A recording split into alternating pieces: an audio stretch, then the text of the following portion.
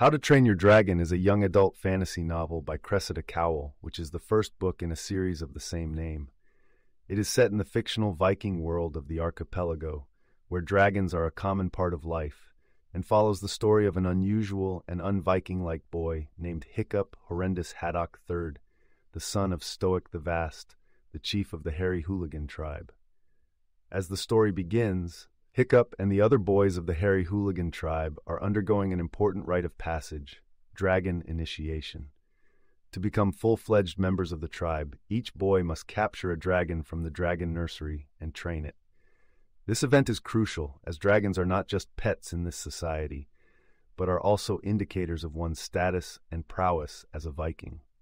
The boys enter the dragon nursery, a cave filled with thousands of sleeping dragons, and have to select and steal a dragon egg. In a frantic attempt laden with danger, Hiccup manages to collect the smallest dragon he can find, whom he later names Toothless due to the dragon's distinct lack of teeth. From the start, Toothless is a disobedient dragon and does not obey Hiccup's commands.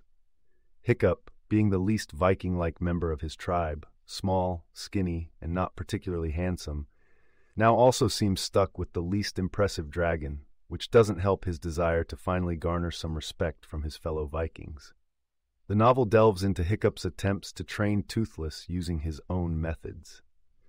Unlike the brutal training methods advocated by the Dragon Training Handbook and his tribe, which involve yelling and asserting dominance, Hiccup decides to use a more gentle and intellectual approach.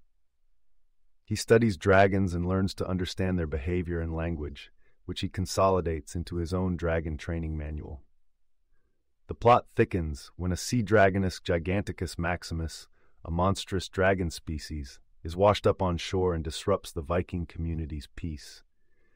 The hairy hooligans initially attempt to kill the beast but end up enraging it instead. In the midst of this chaos, Toothless accidentally enrages it further as he tries to assert his own confidence despite his tiny stature. With the situation growing dire, Hiccup steps forward with a plan to address the threat. Demonstrating the depth of his knowledge and communication skills with dragons, Hiccup communicates with the monstrous dragon, calming it and convincing it to leave peacefully. Through this process, Hiccup gains his dragon's loyalty, with Toothless overcoming his stubbornness to assist Hiccup in this daunting task. Hiccup's success in dealing with the sea dragonus Giganticus Maximus proves his worth to his tribe. His unusual methods gain respect not just from the dragons, but also from his fellow Vikings. They are able to see past his physical appearance and appreciate his intelligence, courage, and innovative spirit.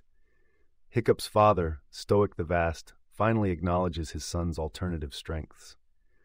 Throughout the story, Hiccup also has to deal with his rival, Snotlout, and deal with the expectations set upon him by his father and society. He comes to terms with his unique identity and learns that being a hero doesn't necessarily mean being the strongest or most conventional warrior. It can also mean being clever, compassionate, and brave in less obvious ways. In the climax, Hiccup is recognized as a true hero and earns his rightful place as a respected member of the tribe. He discovers that being a leader is not about fitting into the traditional mold, but about using one's unique talents to make a difference. His relationship with his dragon, Toothless, also changes from one of mere ownership to mutual respect and friendship. Hiccup's adventures suggest a theme of individuality and challenge the definition of what it means to be a hero. He proves that success can come from understanding, patience, and intelligence rather than brute force. These lessons set the stage for the future novels in the series, where Hiccup's innovative approach to problems and his evolving relationship with dragons will continue to shape his destiny and the world around him. In the end, How to Train Your Dragon provides a story of growth, friendship, and the understanding that true strength comes in many forms. It subverts the traditional expectation of a Viking warrior, promoting the idea that there are many ways to be courageous and successful. Highcraft and Toothless have buoyed up their friendship and proven their worth to the tribe, beginning the tale of an extraordinary partnership that will change the Hairy Hooligans and the archipelago forever.